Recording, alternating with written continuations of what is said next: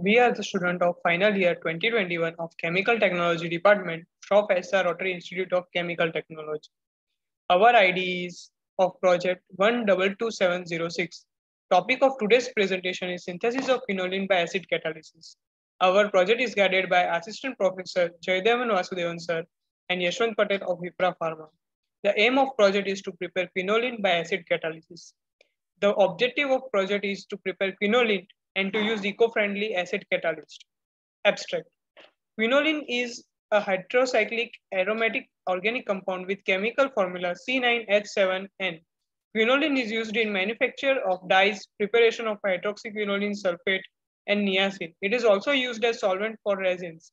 Quinoline has several anti-malarial derivatives, including quinine, chloroquine, and primaquine. It also has application as an anti-asthmatic and anti-inflammatory. Approximately 4 tons are produced annually according to a report published in 2005. Thus, quinoline and its derivatives have a variety of application in various fields.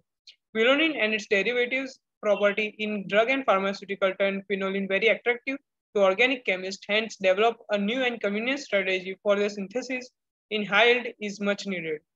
Uh, quinoline can be synthesized by various procedures such as Skraup, Pfizer, Friedlander, and Combes. However, Friedlander condensation is one of the most common method for synthesis of quinoline derivative. It involves reaction between two amino aldehyde or ketone and other carbonyl compound having a reactive alpha methylene group in presence of acid or base catalyst. However, some of these procedures suffer from drawbacks such as long reaction time, low yield, formation of byproduct or use of corrosive and expensive catalyst. So we have tried an environmental friendly way to prepare an quinoline derivative by acid catalyst sawdust HCl. Advantages of using solid acid catalyst are the separation of the product from the reaction medium is easy. It does not involve the lengthy process. Catalyst can be separated and can be used several times with or without the much reduction in activity, thus saving cost of the catalyst. The separation process involved are generally selective, thus providing catalyst recovery reactivity, selectivity, reaction. In this method, the catalyst sawdust is taken from the uh, local sawmill and reacted with the HCl in presence of the dichloromethane, which gives us the sawdust HCl.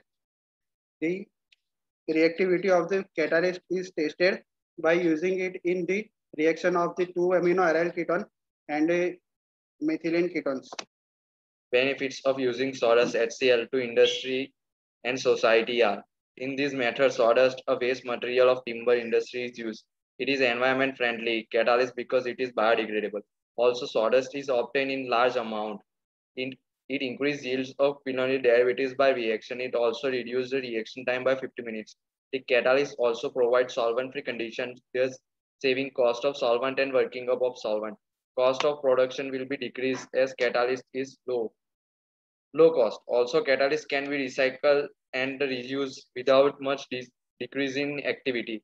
It helps in reduce reduction of quinoline derivatives cost in terms of reduction in cost at which it will be placed in market. Conclusion, it can be concluded that waste product of timber industry sawdust is modified be used as catalyst in process. The project was made by Harshil uh, Harsh Patel, Krish Panchal and Samar Patel. Thank you for the watching this video.